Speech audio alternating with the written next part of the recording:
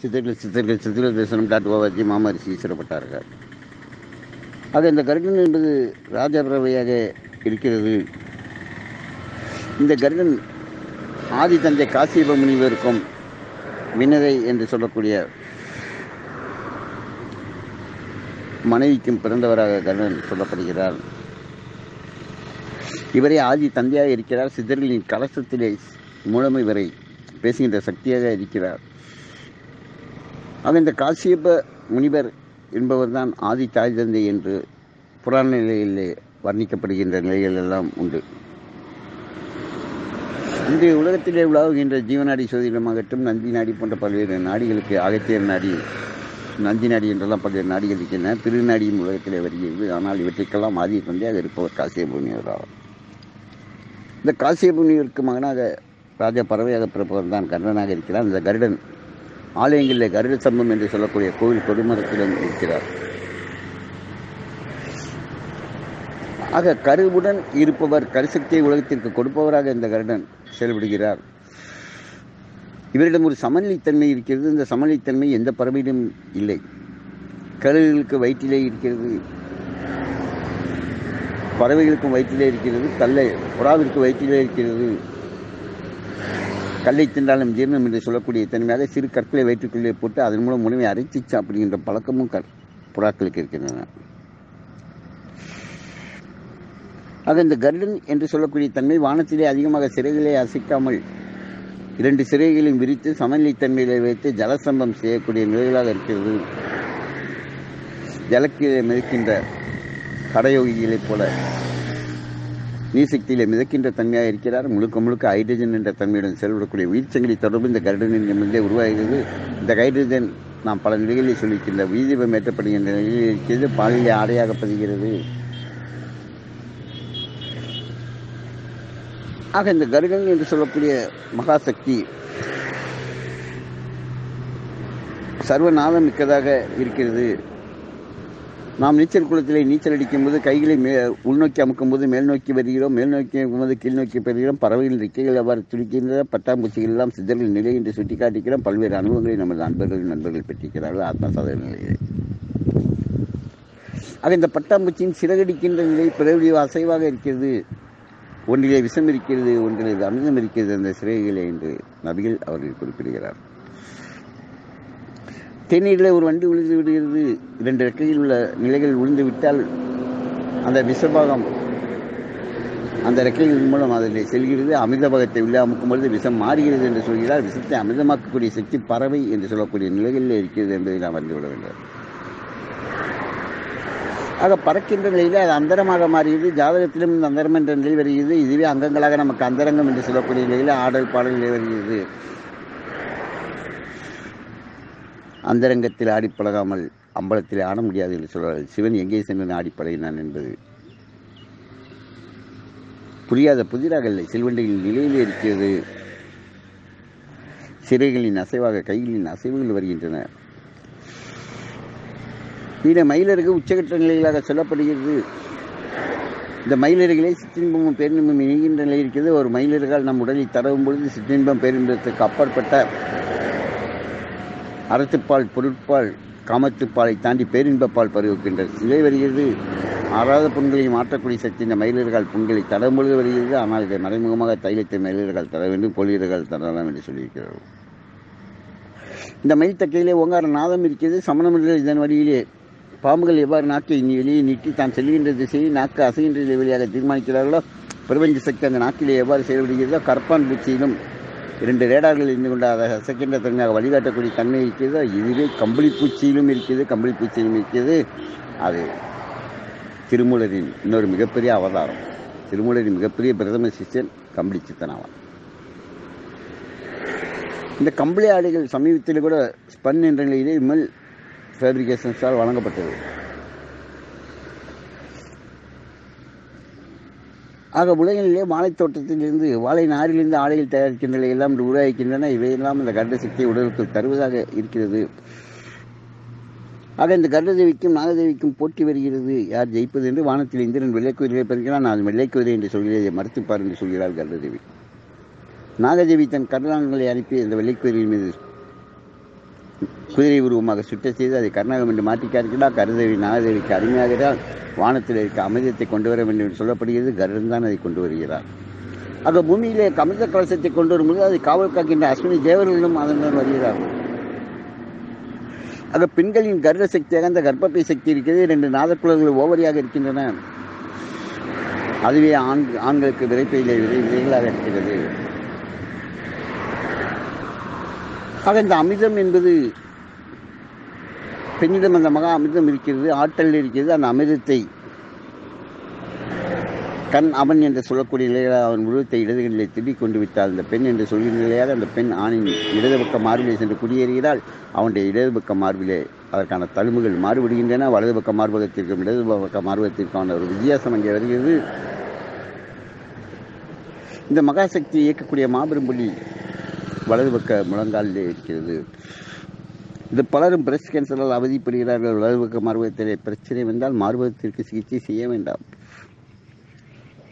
வலது பக்க மார்பகம் இடது பக்க முழுங்காலுடனும் இடது பக்க மார்பகம் வலதுகை வலது பக்க முழுங்காலுடனும் தொடர்புடையாக இருக்கிறது. வலது பக்க இடம் இடப்பக்க முழுங்காலிலே அசைவை இசைவையும் கொண்டு வருவதற்கு கொண்டு வருவதற்கு லிக்விட் பேரஃபின் மேல் பூச்சாக உதவுகிறது. தேன்மிழுகும் அதற்கு துணையாக இருக்கிறது. காவிக்கலருக்கு அதற்கு இணையாக இருக்கிறது.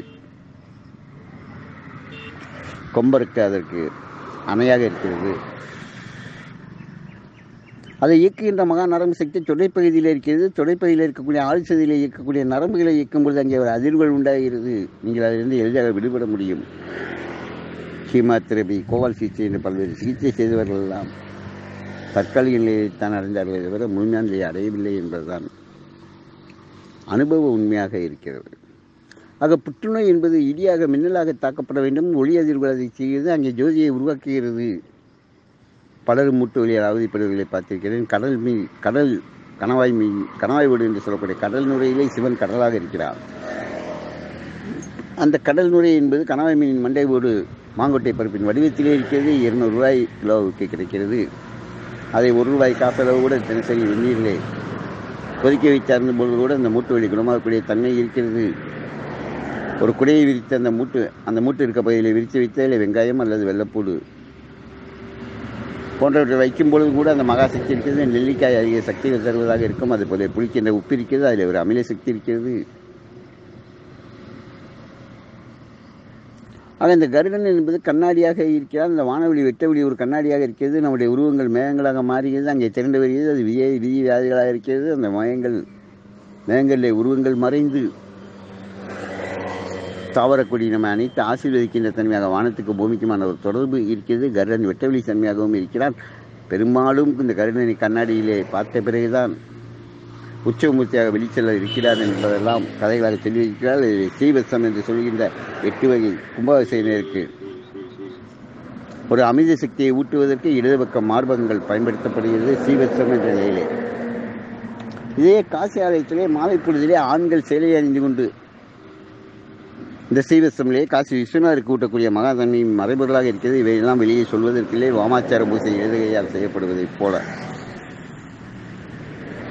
இவற்றையெல்லாம் சில மாதங்கள் சில வருடங்களாக சொல்லிக்கொண்டே இருக்கிறோம். இதனுடைய உண்மைத்தன்மை விஞ்ஞான ரீதியாக ஆம சாஸ்திரியாக இருக்கின்ற உண்மை அறியாமல். பிறகு மகரிஷி நம்மிடம் ஆச்சரியமிட்டு இந்த உண்மையெல்லாம் அனுபவ ரீதியாக ஆதாரப்பூர்வமாக வெளிப்படுத்துகிறார். ஆக ஆதாரங்கள் கொடு என்றால் அவர் கொடுக்கின்ற ஞான கற்றுக்கள் உலகத்திற்கு கிடைக்க விடாமல் சேதாரமாகி மூலாதாரங்கள் உலகத்திற்கு வெளிப்படாமல் போய்விடக்கூடும். ஆக இந்திரனிலிருந்து அமிர்த கலசம் வருகிறது. இந்திரன் அதை எடுத்துக்கொள்கிறான். அது தற்பையில் கொண்டு வரப்படுகிறது. தற்பையில் மிச்சிருக்கின்ற அமிர்தத்தை நாகங்கள் நக்கி சாப்பிடுகின்றன. நாக்குகள் பிளவுபடுகின்றன அந்த வீவடிவ நாக்கிலே நரசிம்மன் தோன்றுகிறான் புலஸ்தீன் அங்கே வருகிறான் அகத்தியின் இயக்கம் புலன்களின் இயக்கமாக மாறுகிறது ஆக கரு என்று சொல்லக்கூடிய உயிர் சக்தி உருவாகக்கூடிய இடம் கர்ணனாக இருக்கிறது. வானத்திலே சிறைகளை அதிகம் அசைக்காமல் வான்வெளியிலே பறந்து செல்கின்ற தன்மை இருக்கிறது. நாற்பத்தைந்து டிகிரியிலே எவ்வாறு ஒரு கிரகத்திற்கு இன்னொரு கிரகத்திற்கும் இடையே பல விண்வெளி ஆய்வுக்கூடங்கள் விண்கலங்கள் அனுப்பப்படும் பொழுது நேரில் செல்வதிலே வட்டமிட்டு வட்டமிட்டு சுழன்றே செல்கிறது. அவையும் கருடனாக மாறுகிறது.